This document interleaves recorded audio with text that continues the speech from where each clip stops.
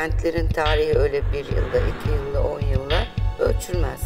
Yaptığınız bir yatırım ya da bir operasyon 50 yıl sonrasını görebilmenizi gerektirir. İkinci köprü ve ikinci köprünün üzerinde 8 milyon yasa dışı gelişme, sanayi iş gücüyle birlikte su havzalarının üzerine yüklenme doğrusu bizi ürküttü.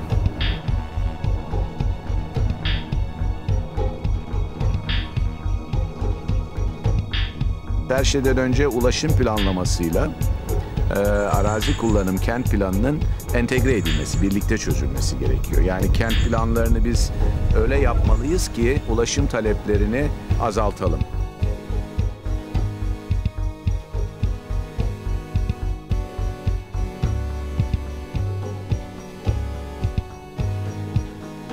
Bir yere 100 bin kişilik sanayi koyduysanız onun çevresinde 1 milyon nüfusu kabul edeceksiniz. Ve bunları birlikte düşüneceksiniz. Bunlar büyük ders alınacak grafiklerdir artık. Bu grafikler bu kadar ortadayken değil mi?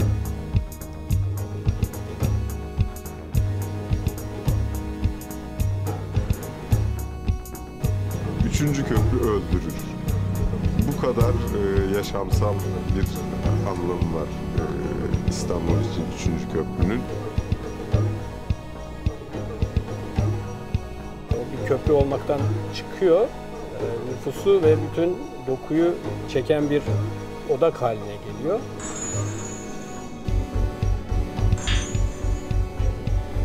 Birçok kuzeydeki arazinin rant değeri yükselmiş durumda şu anda.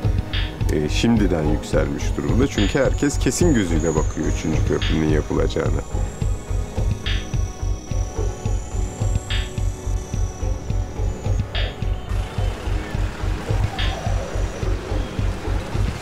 Bizim anayasamızda barınma hakkının net bir tanımı yok.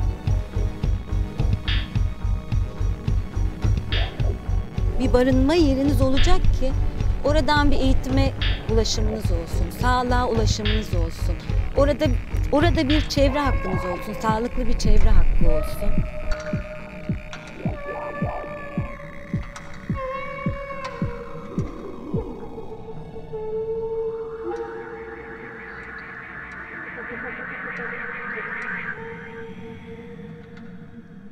Hem mekansal dönüşüm hem demografik bir dönüşüm projesidir aslında kentsel dönüşüm.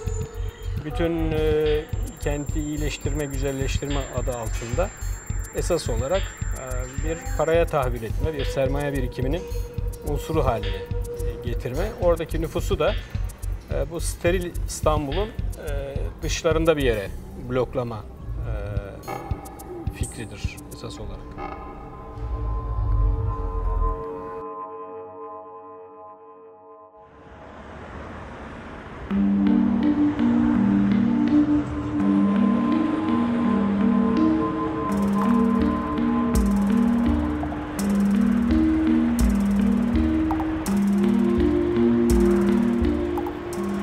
City will become longer and longer to east and west directions. So that if the city size becomes bigger, people are forced to move longer distance.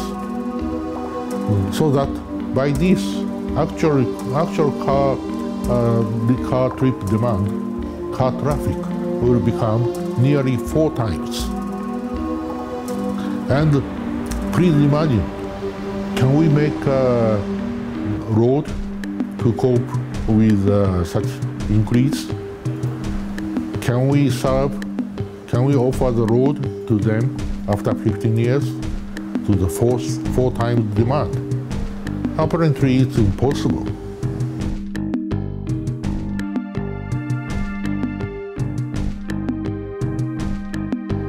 İstanbul'da 1985 ile 90 yılları arasında nüfusun en çok arttığı iki ilçe var. Biri Kağıthane, biri Ümraniye.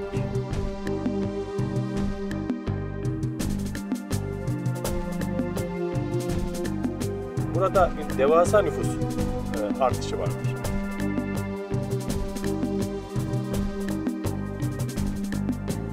Baktığınız zaman Kağıthane ve Ümraniye e, Fatih Sultan Mehmet Köprüsü'nün iki ayağını neredeyse temsil eden iki önemli ilçedir. Ve bu ilçeler aynı zamanda köprüye en yakın olan ilçeler.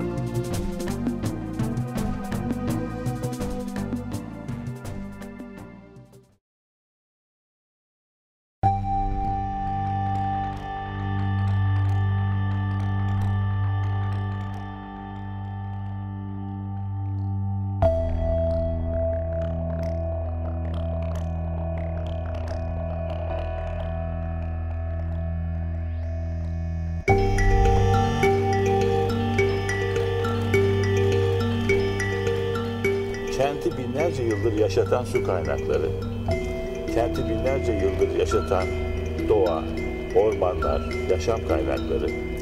Yani İstanbul kimine göre 2600 yıl, kimine göre de 7000 yıllıksa bu kadar bir geçmiş olmasının nedeni olan o doğal kaynaklar kentin kuzeyinde. Bu doğal kaynaklar ortadan kaldırıldığı takdirde, bu doğal kaynaklar yok edildiği takdirde kentin hem yaşam kaynakları ortadan kalkacak demektir, hem de varlık nedeni ortadan kalkacak demektir.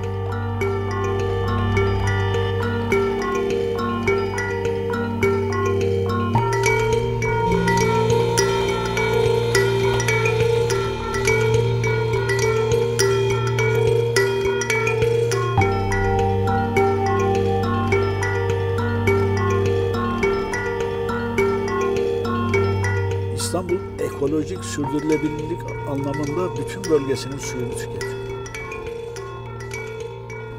Yani şimdi İstanbul e, Düzce'nin e, Bolu'nun suyunu alıyor. Öbür taraftan İstanbul bütün ıstıraklarının sularını alıp gelmiş. Ta İğneada'daki lagün göllerine dayanmıştır.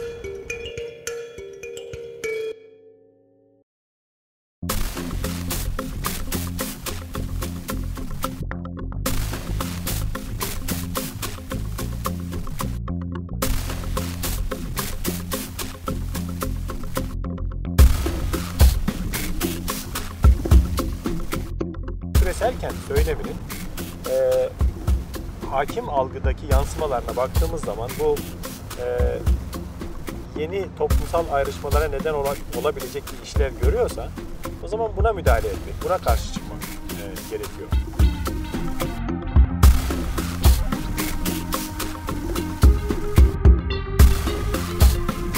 Esas sorun bence planlamaya bakış kaynakları.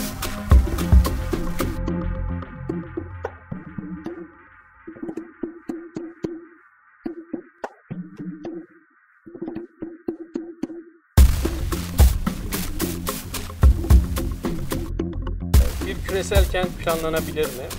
Belki planlanabilir. Ama bir küresel kent e, bir ülke bütününden kopartılarak planlanabilir mi?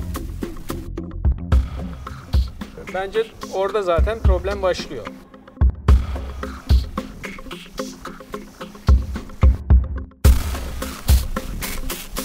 İstanbul'daki ekolojik eşikleri aştınız. Nüfus eşiklerini aştınız. Ekonomik eşikleri aştınız.